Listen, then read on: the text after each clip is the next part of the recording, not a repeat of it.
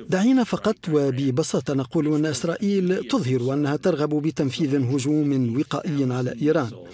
ما يشغل إسرائيل هو أن هجومها سيطلق العنان ل 150 ألف صاروخ يملكها حزب الله في لبنان الذي تسيطر عليه إيران عبر هذه الميليشيا.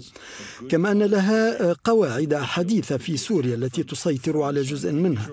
وفي العراق أيضا ولذلك تتوقع إسرائيل أن تتم مهاجمتها في نفس الوقت من جبهتين السورية واللبنانية حيث تتعامل مع هذه الحدود على أنها إيرانية.